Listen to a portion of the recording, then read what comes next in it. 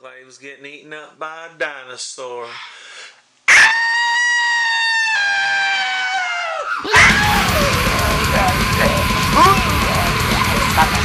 Yeah.